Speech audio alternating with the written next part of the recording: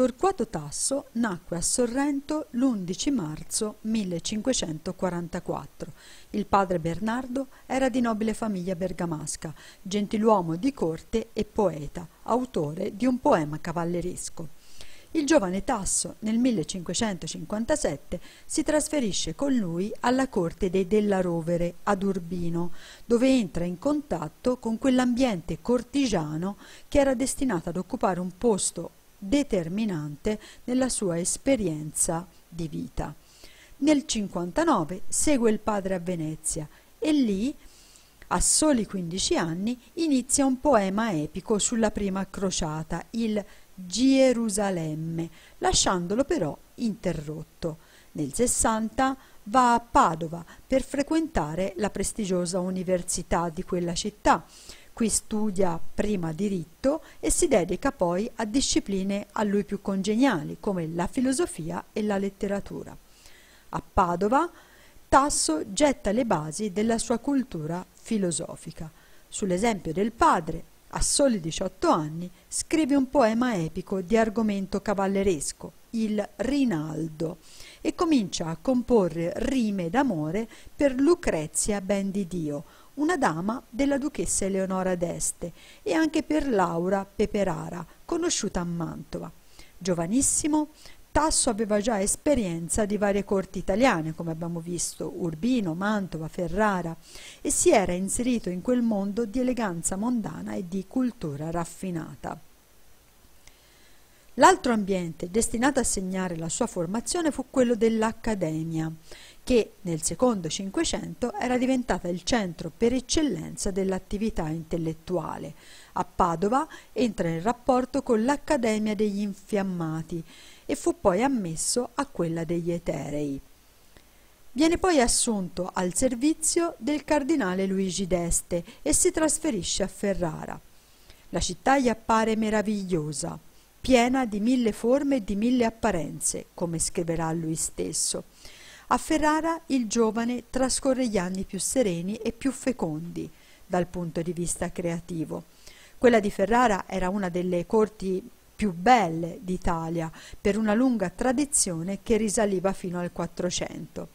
Il poeta si inserisce facilmente nei rituali cortigiani e viene apprezzato da dame e gentiluomini, sia per le sue doti poetiche che per la sua eleganza mondana frequenta gli ambienti culturali e stringe rapporti con gli intellettuali più prestigiosi del luogo.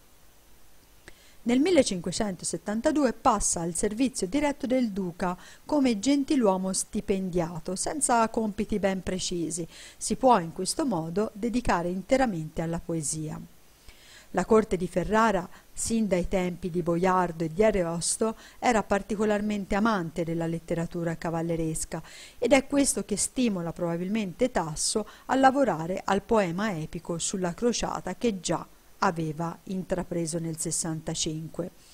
Vi si dedica dal 70 al 75 e nell'estate di quell'anno legge il poema completo al duca Alfonso. Nel frattempo aveva composto un dramma pastorale, La Minta, e aveva tentato di scrivere anche una tragedia, lasciandola però interrotta. Dopo aver concluso il poema, si rompe anche l'equilibrio felice della sua esistenza Egli guarda la sua opera con inquietudine e insoddisfazione, è tormentato dallo scrupolo di renderla aderente ai canoni letterari e soprattutto a quelli religiosi. Si reca a Roma alla fine del 75 per sottoporre il poema al giudizio di un gruppo di autorevoli letterati. Questi muovono all'opera delle critiche piuttosto moralistiche Tasso la difende appassionatamente, ma nello stesso tempo incomincia a provare incertezza lui stesso, condivide gli scrupoli che gli vengono insinuati da questi letterati e si sente pronto ad intervenire sul suo poema con tagli e modifiche per renderlo più conforme alle regole. A questi scrupoli letterari si collegano anche quelli religiosi. Egli infatti viene assalito da dubbi maniacali sulla propria ortodossia cattolica e nel 77 si sottopone spontaneamente all'Inquisizione di Ferrara per eliminare del tutto anche i propri dubbi. Ovviamente viene assolto, ma questo non lo soddisfa. A questo si aggiungono sintomi inquietanti di una mania di persecuzione che diventerà sempre più grave con il passare del tempo. Tanto che un giorno, pensando di essere spiato da un servo, gli si scaglia contro con un coltello. Il duca lo fa rinchiudere nel convento di San Francesco, ma egli ne fugge. Torna a Sorrento, si presenta alla sorella sotto mentite spoglie, annunciandogli la, la sua morte questo lo fa per mettere alla prova l'amore della sorella. Anche questo è ovviamente un comportamento che è segno di turbe psichiche e che rivela anche una profonda insicurezza e il bisogno di essere amato. Di fronte al dolore della sorella il poeta poi svela la propria identità e trascorre con lei alcuni giorni. Torna poi a Ferrara ma riprende i suoi viaggi per l'Italia, va a Mantova, a Urbino, a Torino sempre sperando in una sistemazione. Torna poi a Ferrara, proprio mentre si celebrano le nozze, le terze nozze del duca Alfonso con Margherita Gonzaga. Non trovando l'accoglienza calorosa che si aspettava, dà in escandescenze, tanto che il duca lo fa rinchiudere, come pazzo furioso, nell'ospedale di Sant'Anna. Qui lui rimane sette anni. Dopo un periodo di totale segregazione gli viene concessa una certa libertà che gli permetteva di ricevere anche visite, di studiare e di scrivere. Riprende così la sua attività letteraria e a Sant'Anna scrive molte rime, molte lettere e anche buona parte dei dialoghi. Tuttavia dovette subire gravi sofferenze, sia fisiche che psichiche. Era turbato da incubi, da allucinazioni, era convinto che ci fosse un folletto che gli metteva disordine nelle carte, che un mago lo perseguitasse con degli incantesimi malvagi. Il suo stato d'animo quindi oscillava tra la mania di persecuzione, che gli faceva credere di essere vittima di un'ingiustizia, e la tendenza ad autopunirsi che lo faceva sentire in colpa anche nei confronti del principe che lo aveva accolto. In questo periodo si rivolge ininterrottamente a principi, intellettuali, per difendersi ma anche per chiedere soccorso, quindi una persona che soffre negli anni in cui il poeta era rinchiuso a Sant'Anna, la Gerusalemme venne pubblicata senza il suo consenso, in un'edizione che era sia incompleta che scorretta. Questo ovviamente lo turbò in maniera profonda.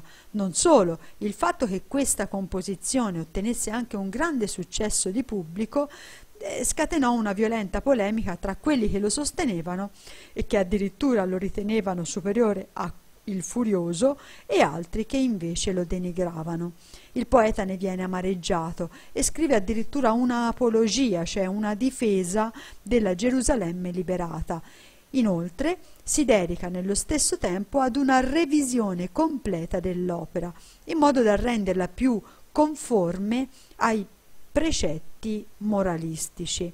La prigionia finisce nel, nel 1586, quando il duca Vincenzo Gonzaga di Mantova ottiene che il poeta venga affidato alla sua custodia ma Tasso non ce la fa a restare a Mantova. Negli ultimi anni soggiorna a Roma e poi a Napoli, cercando soprattutto l'appoggio degli ambienti ecclesiastici. Compone molta poesia encomiastica per ringraziare chi lo ospita e anche poesia di ispirazione religiosa, che riflette un po' questo suo bisogno di cercare nella religione un conforto alle sofferenze si concentra soprattutto sul rifacimento del poema, che pubblicherà nel 1593 con il titolo di Gerusalemme conquistata, non più liberata, Gerusalemme conquistata. Nel 1594 Papa Clemente VIII propone che venga incoronato poeta a Roma, ma Tasso, ammalatosi gravemente, muore nell'aprile del 1593. Tasso incarna la figura del poeta cortigiano del Cinquecento. La sua vita infatti si svolge tutta all'interno della corte ed è legata sia materialmente che intellettualmente alla corte stessa. Da un lato c'era bisogno dei principi, eh, dai quali il poeta dipende totalmente per la sua esistenza materiale, Dall'altro, egli ritiene che solo nella corte possa essere consacrata la fama di un grande poeta e che solo lì si possa trovare un pubblico capace di apprezzare la sua poesia. Anche Ariosto era stato un poeta cortigiano, ma sentiva il bisogno di essere autonomo rispetto alla corte. Era convinto che la sua realizzazione umana dovesse avvenire fuori dalla corte. Non è così per Tasso, perché per lui non c'è altro luogo che la corte stessa. Comunque abbiamo visto che Tasso è un poeta lacerato da contraddizioni. Da un lato celebra la corte, dall'altro prova avversione per essa da un lato cerca di scappare, da un lato cerca di tornare. Sono contraddizioni che rappresentano quelle di un'età di grandi tensioni e di grandi conflitti, in cui incomincia a entrare in crisi il ruolo dell'intellettuale che era stato elaborato nella cultura cortigiana del Rinascimento.